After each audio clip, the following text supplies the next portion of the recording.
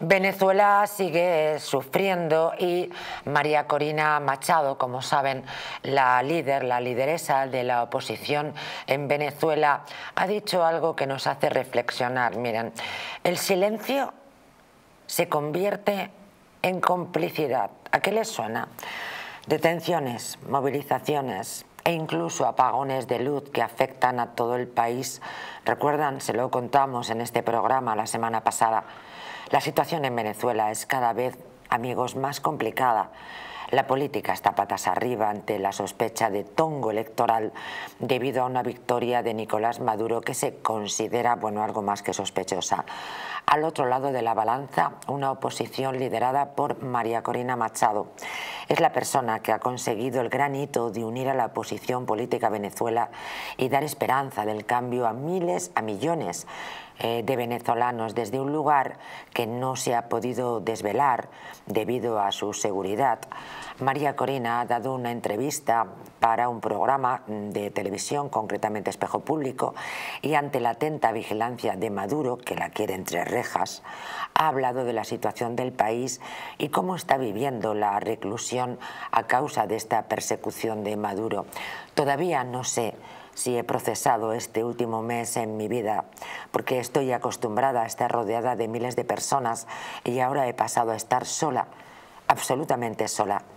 Estoy trabajando mucho, pero también es una dinámica nueva, explica y asegura que en estos tiempos lo que siente es orgullo y satisfacción por lo que hicimos y dolor por lo que estamos em, enfrentando, la represión del régimen esta represión de Maduro se traduce en cifras, cifras que María Corina califica como aterradoras.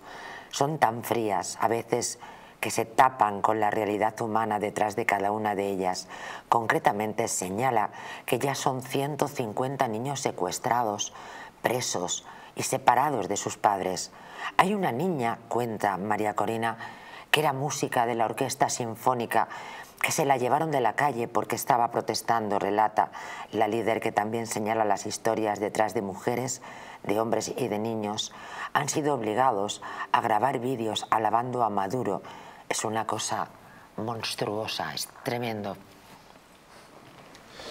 Bueno, yo creo que la reclamación y los gritos que está, que está expresando María Corina Machado, dentro del contexto, está hablando de cómo eh, Zapatero, lleva un silencio sepulcral. Ahí estamos. Como el presidente Sánchez lleva un silencio sepulcral. Como no entra ni siquiera el canciller de Exteriores, Álvarez, hacer una declaración concreta y exhaustiva rechazando eh, la, victoria de Maduro y, confirmando y apoyando a María Corina Machado. O sea, es que son unos gritos eh, terribles. Y otro tema que estamos viendo, no sé si luego hablarás o no de ellos, es el tema de los asesinatos que están habiendo en la calle, que son terribles. Por favor, relátalo, tienes claro, Es decir, este fin de semana, hace escasamente unos días, han sido entre 7 y 10 muertos conocidos, oficiales de manifestantes. Pero ojo, no es no es el ejército venezolano en sí. Recordemos, porque en tu programa lo hemos hablado, que está Hezbollah, que están los cubanos, que están los rusos de Wagner, están, que además no se cortan, llevan incluso hasta las insignias de Wagner, que cobran 10.000 euros eh, al mes, que cobran otro, otro tema tal. Es decir, esta gente le da igual disparar con los venezolanos o disparar en África o disparar en Ucrania. Les da exactamente igual. Entonces ese hecho es el que los militares venezolanos, no los de Maduro, los militares venezolanos, auténticos militares que han jurado guardar el honor y la patria y el pueblo venezolano, se tienen que dar cuenta. Porque al final estos señores que están disparando están por dinero no son venezolanos y lo único que están es defendiendo el negocio, primero de Maduro y segundo de los generales que dan las órdenes de disparar porque están defendiendo sus propias inversiones y tal. El pueblo venezolano en algún momento, el ejército y la policía se darán cuenta que no pueden seguir obedeciendo, sobre todo cuando están matando a los manifestantes. Es que es terrible, es que estamos volviendo a, principios del siglo XX, mediados del siglo XX, con esas dictaduras eh, terribles, porque ya disparar al pueblo indefenso eso ya es lo último. O sea, yo entiendo que en una, a ver, no, lo puedo entender, pero bueno, en una manifestación un mal golpe, un accidente, un, algo puede, pero puede disparar a bocajarro. Pero disparar como están disparando a bocajarro, eso ya está, ocurriendo en el mundo. En China, sin ir más lejos, es una cosa que tampoco veremos en las noticias, pero se produce. que no hay noticias. Claro, no, veremos en las noticias, pero se produce, ¿no? Porque llega, llega al final, hay personas sobre el terreno que consiguen pasar vídeos, consiguen pasar información, y todos lo sabemos. Mira, hay una cuestión que me tiene muy intrigado y tiene que ver con el Venezuela.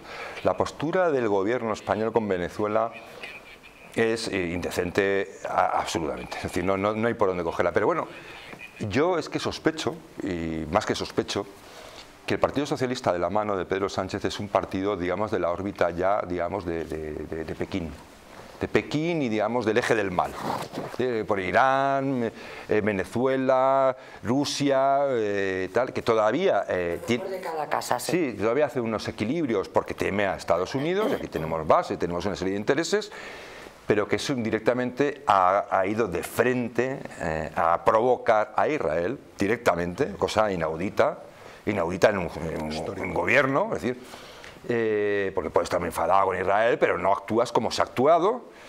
Y, bueno, y ahora tenemos a nuestro querido presidente que ha ido de gira por África y que casualmente... Hacer el ridículo. Bueno, hacer el ridículo o algo más, porque uno de los países donde más se ha detenido es en Gambia. Y Gambia es un país completamente tomado por China. Es un país ahora mismo que depende hasta para respirar de China decir, de sus empresas, de su dinero y los préstamos públicos. Son países, estados secuestrados ya por la deuda que sostienen con China y con los intereses comerciales. Y de allí, Pedro Sánchez, ¿a dónde va a ir? Se va a ir a Pekín.